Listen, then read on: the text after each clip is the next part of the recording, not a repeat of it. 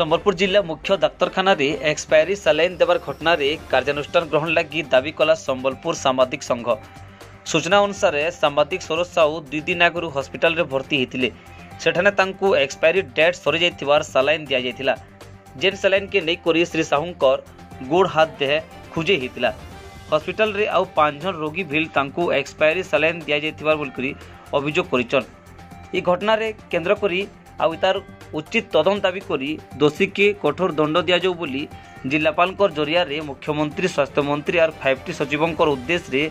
ଦାବିପତ୍ର ପ୍ରଦାନ କରାଯାଇଛି ତାର ସାଙ୍ଗେ ସାଙ୍ଗେ ଗଲା ଅଠେଇଶ ତାରିଖ ସଂକ୍ରମଣ ବିଭାଗରେ ଭର୍ତ୍ତି ହୋଇଥିବା ସାମ୍ବାଦିକ ସରୋଜ ସାହୁଙ୍କର ସଙ୍ଗେ ଅନ୍ୟ ସବୁ ରୋଗୀମାନଙ୍କର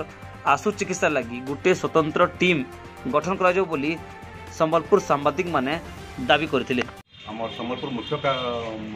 ଚିକିତ୍ସାଳୟରେ आम जड़े सांबादिक सरोज कुमार साहू एडमिट होते